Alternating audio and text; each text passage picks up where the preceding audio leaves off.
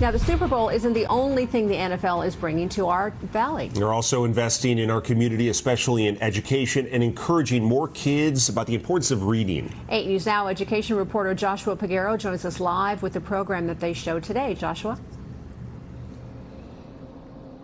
Hello, Brian and Denise. NFL Commissioner Roger Goodell surprised about 150 kids from the Boys and Girls Club with NFL swag and a book to read. This is all part of an effort to encourage kids to read more. This event took place at the Clark County Library. Goodell announced the league is partnering with 10 barbershops in the Vegas Valley to place books in their businesses. That way a child could read while they're, while they're getting it, waiting to get a haircut or their dad is. Local barbers will also at the announcement. Goodell emphasized how important it is to build up communities and their future leaders through reading.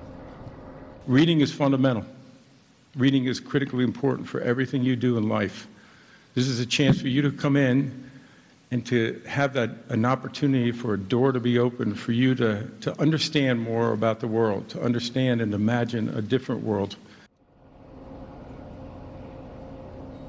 Now, Microsoft also pledged $100,000 to the Clark County Library for hardware and software. This is part of a program, a social justice program that the NFL has in place called Inspire Change. And we've all heard it as kids. Readers are leaders. Reporting live outside of Allegiant Stadium, Joshua Peguero, 8 News Now. Back to you.